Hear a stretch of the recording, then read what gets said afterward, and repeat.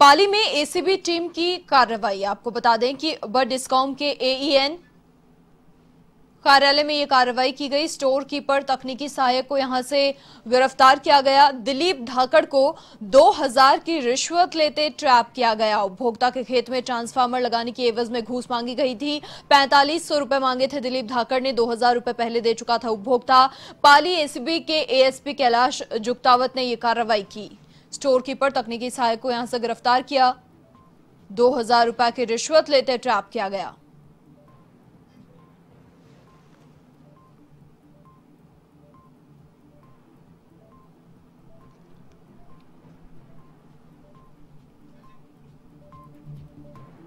पाली में ACB team की कार्रवाई सामने आई है। बर्ड डिस्कॉम के एईएन कार्यालय में ये कार्रवाई की गई।